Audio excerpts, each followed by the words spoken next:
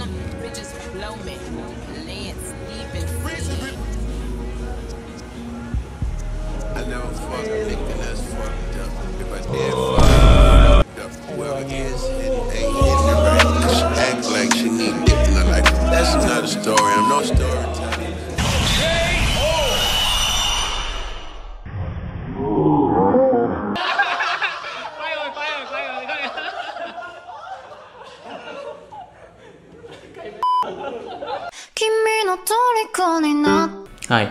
Welcome back to my channel. Today we'll be taking a look at how I created this abstract, uh, colorful breathing animation in After Effects. And I hope you guys will enjoy today's videos. Um, if you do, please leave a like and subscribe down below. It really helps me out. And also uh, make sure to join my brand new Discord channel down in the link in the description below. Um, it's a space that I created for um, motion designers, graphic designers, animators, basically everyone to just come in, chill, and share knowledge and valuable contents. Yeah, so I do hope to see you there, and let's jump in into today's video.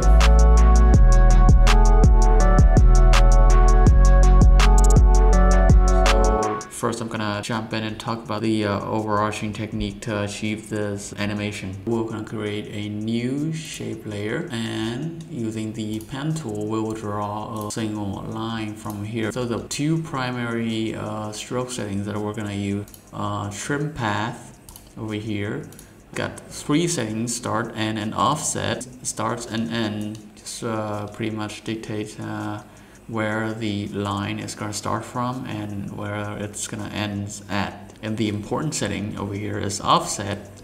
So if you control the offset setting, the stroke, which has been shortened right now, is going to go be offsetted uh, according to um, the line that we have drawn, the line of the stroke that we've drawn. Yeah, so you know, if the uh, if the stroke goes like this, we add more lines to it, or if it curves, it's still gonna follow the still gonna follow the stroke lines. Uh, fun fact, I've actually done something like this back in 2018 and I'm gonna show it over here on the screen. It's a similar technique, but back then After Effects didn't have taper stroke for uh, stroke layers. So right now we're gonna take a look at that. So right here, uh, click on the drop down menu, go to stroke, and then over here we'll see taper. This is like brand new over here. We didn't have that back in the days. Over here we got uh, start length, end length, start width, and width, start ease and ease. So it's basically what um, you'll find in Illustrator, for example. Okay, so I decided to do the explanation of this effect in post because I don't think I did a pretty good job of it the last time. But basically, if you control the length parameter of each of the ends, uh, it's going to dictate uh, to what percentage of the line the taper is going to be. And uh, the width uh, affects, uh, well, uh, it affects the width or how wide uh, each of the ends is to be. Sorry. So right now I'll taper that make it like a tail. And this end, I'm gonna probably put it from butt cap to round cap so we have we have a so that we have round corners. So as you can see, that's basically a sort of principle we're gonna rely on today. Okay, so using this technique, uh, we'll move on to the next phase, which is stacking these strokes on top of each other. So let's go ahead and do that. I'll create a new composition. Uh, but this time, I'm gonna create a base layer. Gonna be a sphere so that we know what sort of uh, what sort of reference point we're gonna uh, have for our strokes and also acting as a mask for uh, uh, the other stroke as well. So for this one I'm gonna call it a main sphere. And I'll create a different shape layer. Use the pen tool and draw the path that is uh, I'm gonna I'm gonna change yeah so yeah I'm gonna draw a different path but only this time it's going around the circle. That's looking good. Um, yeah I'm gonna stick with that. And um, I'm gonna change the stroke from butt cap to round cap and I'm gonna add the trim path uh, to it. Uh, change up the settings on the trim path so that it leaves us with about 3% of the path. And then I'm gonna taper that stroke uh, taper the starting point.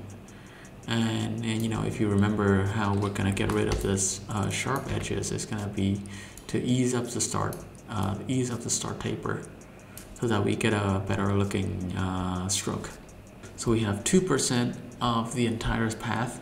Now we want this stroke to go through the entirety of this of this path and while it's doing that it's gonna uh, look like is um, looks like it's like a particle uh, it's gonna look like as a single particle or like a sperm-like animation or something. It's going through the path that we've already drawn. So now all we have to do is uh, to time offset it using the uh, expression time uh, and time it up to maybe 10. See how that looks. Now that might be a little bit too slow for me, so I'll increase that up to 50. And that's too fast, so maybe somewhere in the middle like 25 30 that's for me. Is looking good enough. Uh, obviously this is just uh, an example and we'll need more time to uh, polish it up. So the next step to piling this thing up is to click on it press ctrl D to duplicate that control D or command D if you're either using a Mac. And for this one uh, what we're gonna do is offset offset all the settings on it. So that we create uh, so that we make a different variation of the stroke. Uh, so right now uh, what I'm doing is pressing R on this layer rotate it and rotate it around and then maybe I will offset maybe I will offset the uh, the trim path animation offset the offset settings. Uh, right here I'm gonna hit plus 60 or something like that so, that, so that is at a different uh, point of the animation or uh, minus 50 so yeah so now we have variation uh, in the time. We're gonna uh, make it we're gonna either make it longer or bigger depends on how you like it and can also change the color. Since it is bigger I'm gonna, gonna want to slow it down and maybe create another one. This one I'm gonna want to make it um, bigger and it's gonna be like a base layer or something like that uh, once again trim path I'll make it even slower and now offset it to like plus you know. Um, let's just pick a random number 30 over here I'm gonna increase the size of the stroke. Or maybe we can even change the the scale of the entire shape. Yeah. That looks right. You can even flip it up. Yeah that's pretty cool now I think we can add even more variation to it so I, I want to copy this bottom layer. And for this one I kind of want it to stand out maybe like total white or either total white or total black. I'll drop this stroke way down. It's like uh, what's left of it is just a uh, it's just that's actually pretty cool. Okay but I, I was going a diff in a different direction yeah. I'll, uh, pull up the trimming of the uh, of the stroke and then it's a chaotic mess which is something that we're striving for basically. Maybe uh, 0.8 or 0.9 level stroke that's a that's a huge mosquito that I just saw so just play around with all the settings, you know, duplicate it as much as you can and then have it uh, varies in size and speed and colors and everything until you get like a, like a sort of mess, a messy variation of colors and sizes. So once you have something that you're happy with, uh, the next step is gonna you're gonna want to do is contain these uh, strokes within the main sphere right here. So the effects that we're gonna be using for that is set matte. You drag it onto the stroke layer and you put the uh, matte from layer uh, as the main sphere that's not to be noticeable but uh, if you're not stupid like me you can as an example you're want to put the set mask effect on something more no noticeable so for instance I'll put this on the, this layer over here this stroke layer. So we do that once again set matte on shape layer 3 this time. And we set the matte from layer as the main sphere. And as you can see, what it's doing now is taking the alpha channel, yeah, the alpha channel of the main sphere over here, and it would take that as the mask of the entire shape layer. So right now, it's gonna be only going around within the confine of the original shape layer that we have created. Uh, this part over here kind of looks uh, a little bit messed up, so I'll kind of want, since this is the uh, the endpoint of the stroke is okay if we just hide it away like this. You know? And then what we're gonna do next is just to copy that effect uh, click on here set matte and press ctrl C or command C and then copy that to the other layer so that uh, when it's rotating around it's rotating within the confine of the shapes. Uh, maybe normal glow. Uh, stock glow would do. It's already looking kind of nice. What we're doing here is to make sure like the whole the whole composition is working together so if you do put like a glow or like a chromatic aberration effect on the shape I do recommend putting the glow effect behind the set matte effects to make sure the glow stays within the confine of the, uh, the entire shape. And also it gives up like a like a nice reflection of over here for this part where it's hidden from the sphere but it's also having a sort of bit of glow there which is nice. And also I do recommend playing around with the uh, uh, blending mode over here so the more we add it the more variation we have for it one of you has asked me about this halftone texture uh, that I use for this one over here, uh, the one with the dotted textures uh, within it. And for that uh, effect, I use the uh, I use the halftone color effect from Sapphire plugins. Yeah, most of these uh, coloring and chromatic effects happening on these layers over here is coming primarily from Sapphire. But if you don't have, have uh, you don't have Sapphire for the effects, what you can do is looking up uh, one of Ben Marriott's tutorials for this halftone textures, which I'm gonna put up over here, and there's gonna be a link down in the description below. But it's a pretty good technique of how to uh, achieve this texture over here using camera lens blur and uh, if I can remember levels uh, in color correction. Yeah, so uh, huge shout out to Ben for that. Um, yeah, check it out. Uh, the final step would be to compose uh, everything and then make sure making sure it looks good. So I'll highlight all of them, pre-compose them, and put them into the uh, sphere, the sphere comp. We'll call that just for now. And within the sphere comp, um, what I'll do is I'll put the uh, an overall glow onto the entire thing. that's too much.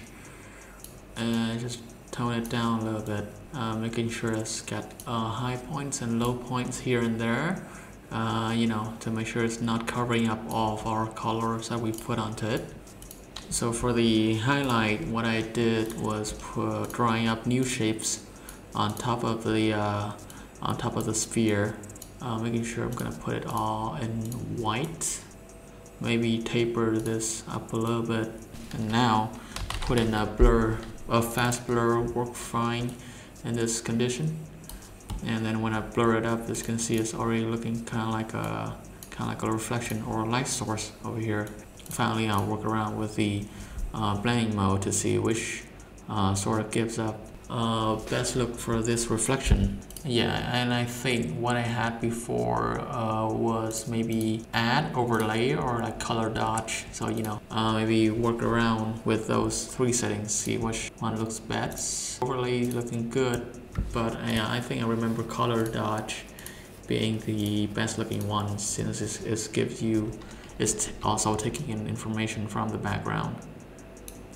I like that one. I'll put that in there now. Make sure it goes even closer to the edge.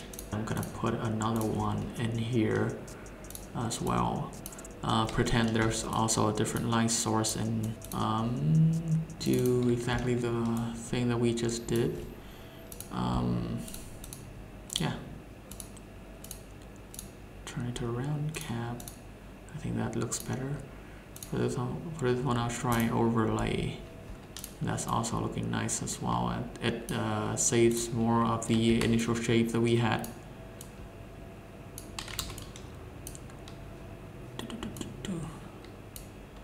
this is very nice. Yes and the final step I think I'll put uh, like a nice little texture on top of the ball to make uh, to create the illusion that is looking like a, a dusty sphere. And for that I've already got like a dust texture. You can grab pretty much any texture you want.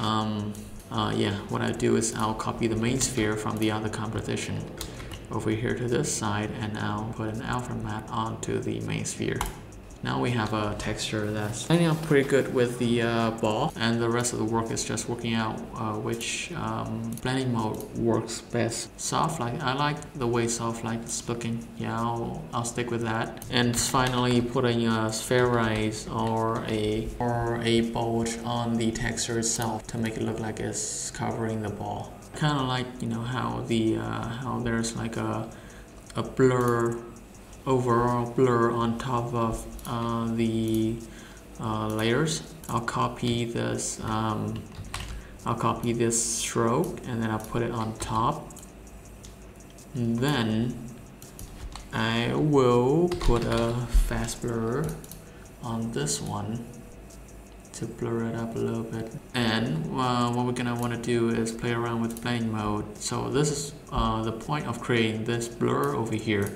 was to get something that can blend all the color below it.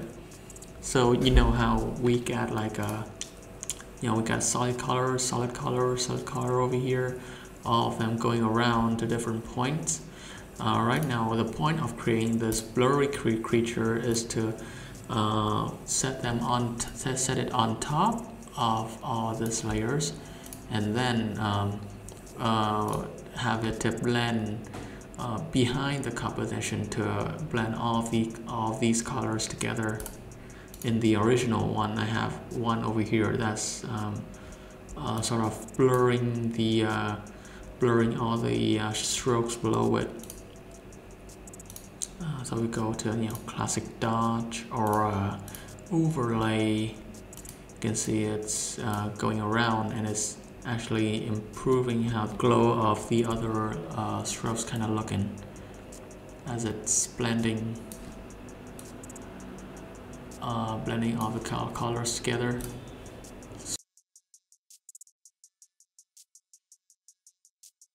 something like that something that looks contrasty that's looking nice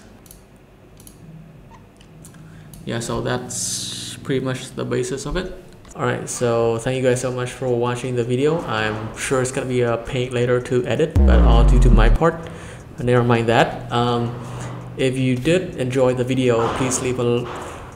If you did enjoy the video, please leave... Nice. If you did enjoy the video, please leave a like and subscribe uh, down below. And if you you know if you have any comments or if you have any questions regarding the animation itself or the technique make sure to leave it in the comment down below. Or you can join my discord and comment on there as well uh, whichever works for you. That's fine. And i'll make sure to check it out. And um, yeah. See you soon. Bye bye